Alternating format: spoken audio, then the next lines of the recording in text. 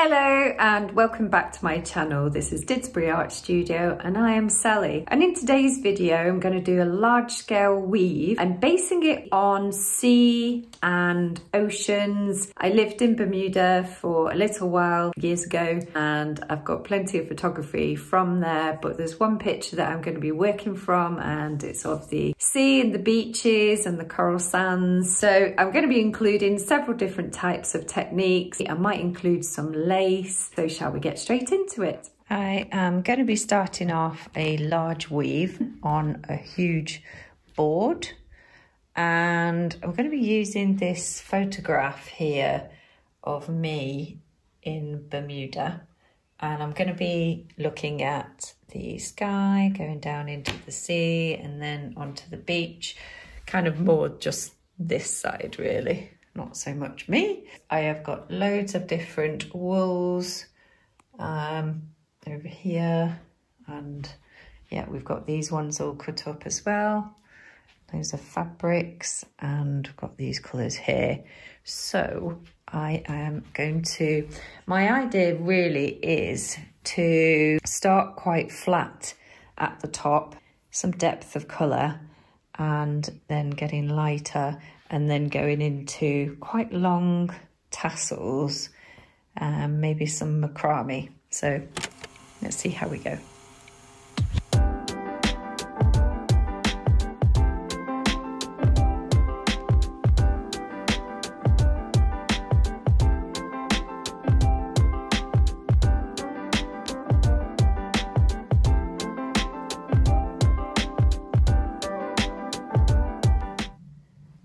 So that's my sort of plan, my colour scheme going down this side here. So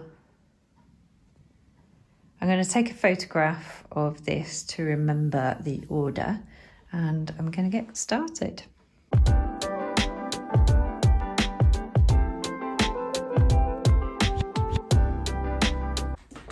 So I'm just on my way back and I'm doing the other half of the sumac with this kind of like t-shirt material.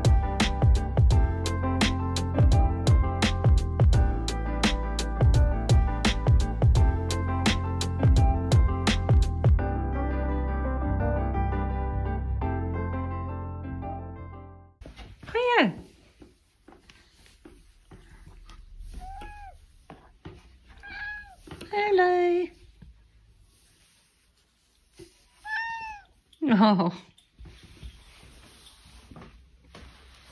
A little stroke.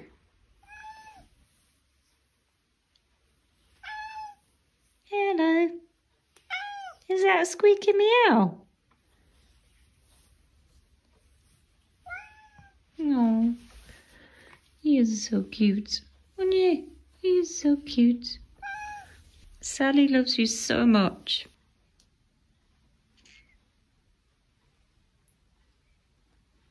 It's getting messy. This is where we're up to. Yeah, I've just been experimenting with the different patterns that you can do. This one, I was just twisting all around and it's kind of gone quite knotty and I do like the texture of that. Tried to do a bit of a stripe with sumac moving across. I'm loving the way it's falling. Look at that. Mixed up some colours in there, done sumac. And now I'm going to do big sumac. So, as I said, looking at sky going on over here. Let's go.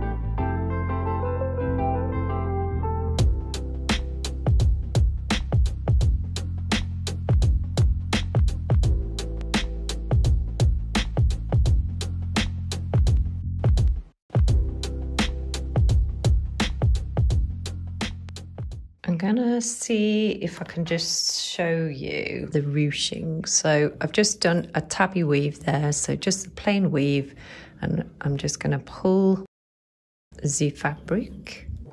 Got a long length there with some slack, so I'm just gonna pull that, pull that,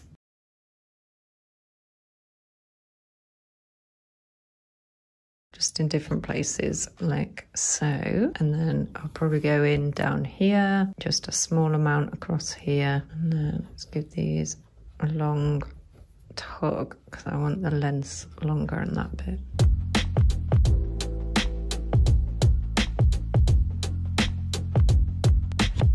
I'm looking at it now and I am thinking, when I look at this one, I'm thinking that I need to think about somehow introducing a little bit of white and then back to some paler blues so I can go into the darkness of the sea further down. I think the bottom half is slightly bigger than the top half, deeper that is. I think very soon I need to switch down to the pink coral sands and the Sea of Bermuda.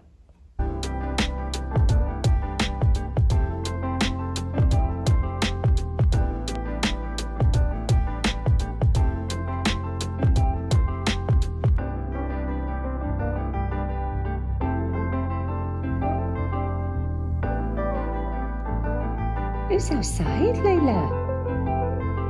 Do you see anybody? Oh, watching the birdies.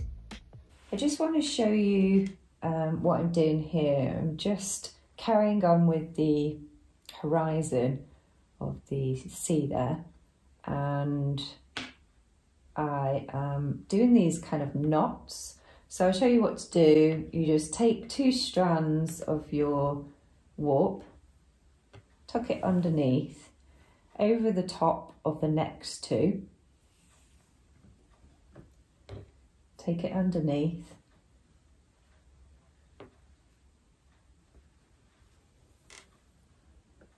Twist over the top and pull through the middle and you will get a nice chunky knot. Like that. So once again, underneath the next two,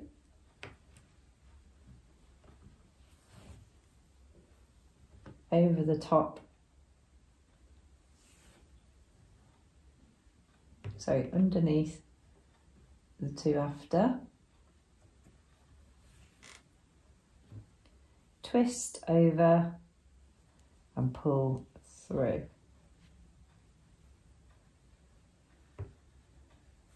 I'm just pushing those up underneath that sumac there. And I just started it with a knot. I'm using some wool that's nice and fluffy and I'm using four strands of it. So once again, underneath two,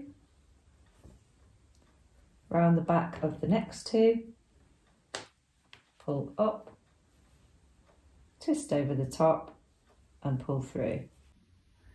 So I'm just going to show you how to come back and put knots in between the knots that I've already done, but I'm going to change the, I'm just going to use some material this time rather than the wool. So you've got a knot on these two strands. I'm not starting at the end over here, by the way, because this is all going to cover that bit. So, and I finished on the previous one up there. So I've put a knot underneath it. And now um, I know I've only got a short amount of fabric there, but I've got plenty more coming. So you're going to tuck it around the back of the next two warp strands. You're going to twist over the fabric and pull that in with a nice little knot that's going to go in the middle of these two. So I'm going to just see if I can get around another two there. Let's just see. It's going to be tight. Twist over and pull through. I've just tied a knot again underneath that one. And now I'm just going to come behind those two. Twist, pull through.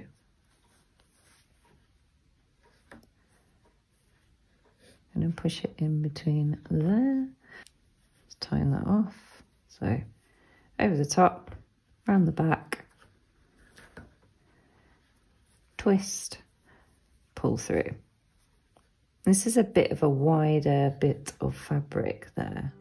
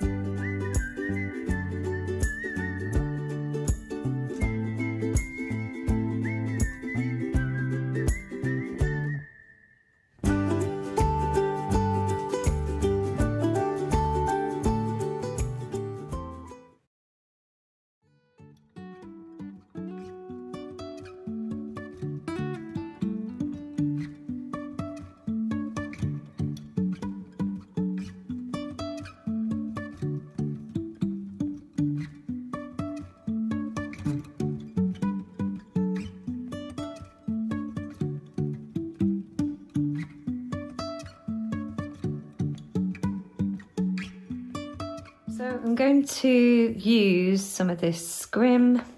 I'm going to use some of this gorgeous lace that I've got here. And I think this would be perfect in the weave. Loving that. And some of this netting. Yep, the, these are all the bits that I think I'm going to add in. It's a bit of a shimmer there.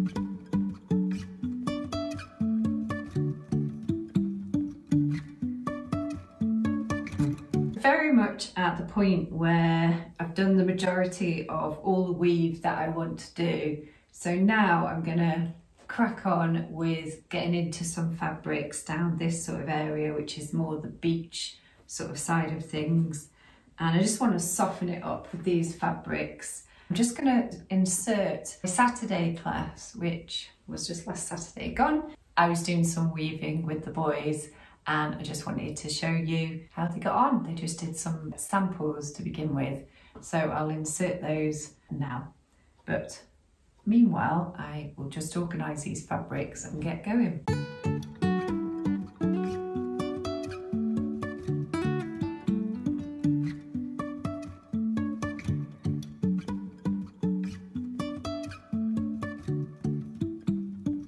give you a bit of an update here. Um, I'm starting to incorporate my laces.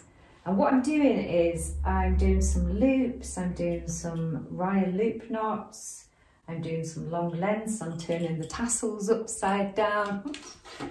And yeah, I'm just trying to bring together the piece really and get it quite nice and soft. I do want lots of lengths of fabrics hanging off some of these are vintage. Um, hey, some of these are vintage. that one is the cotton scrim. Forgot the name of it then. And got some nice, hello, hello, hello. You stand all over it again? You're my attention.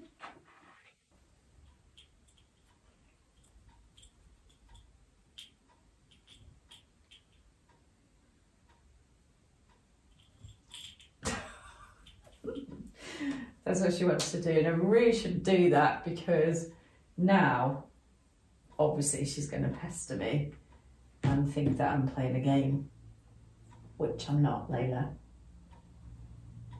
So this piece I had in mind was going to go over here. So I'm going to carry on with the tassels, them down here. I'm not too sure what I'm doing with these two areas at the minute. I might thread through some fabrics.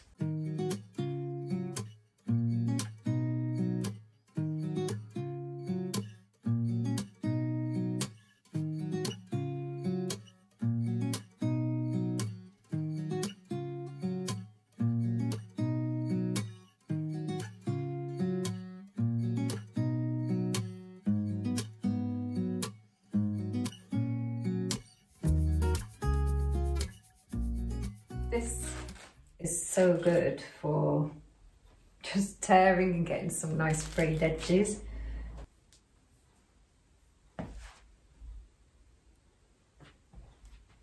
It's going to be heavy. There's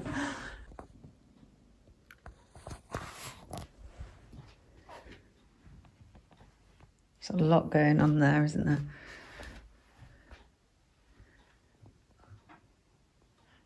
I've really enjoyed doing it though. It has taken some time. There's little Layla. Yay. Right, let me just show you from this angle here. There we go.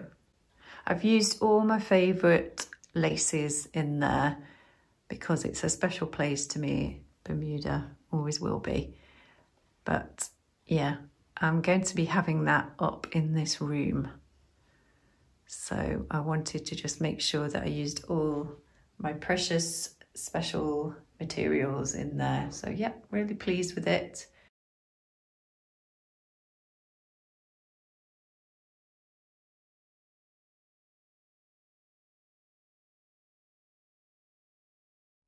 So I hope you enjoyed my video today and if you did, do give it a big like. That would be more than helpful.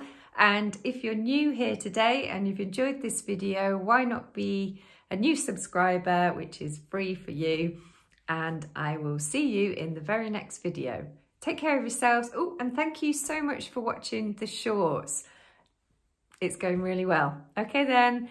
And I'm heading for 10,000 next. So keep subscribing and tell your friends and share the channel. Okay then, that's my plug. Bye.